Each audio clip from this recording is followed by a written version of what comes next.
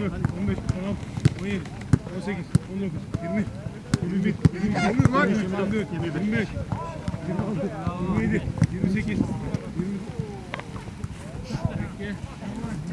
Var değil.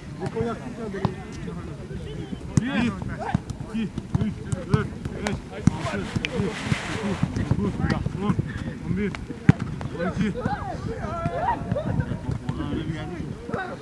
Ee, tabii ki Malatya Spor formasıyla da bu gururu yaşamak benim için ayrı bir mutluluk.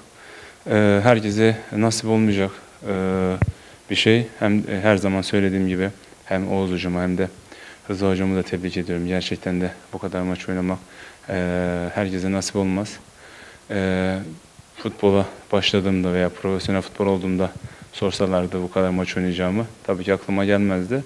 Ama bugünlere geldiğim için Allah'a çok şükür nasip oldu. Böyle bir gurur e, yaşamak da nasip oldu. Mutluyum. İnşallah e, geriye kalan maçlarda da hem takımım için hem de kendim için en iyisini yapmaya çalışacağım. Peki bundan sonraki hedeflerin nelerdir Malatya Spor forması altında? Neler? e, Tabii ki şu anda e, bulunduğumuz konum itibariyle bir an önce e, rahat bir e, yere gelmek istiyoruz. Bir an önce galibiyetler alarak yukarıya e, bir an önce çıkıp rahatlamak istiyoruz. Öncelikli hedefimiz bu.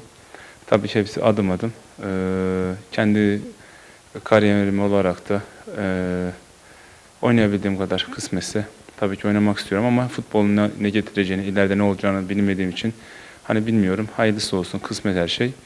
E, hem futbolun içinde hem e, futbol e, futbolcular hem de futbol adam olarak futbol içinde kalmak istiyorum her zaman. Futbolu Malatya Spor'da bırakma gibi düşünceniz var?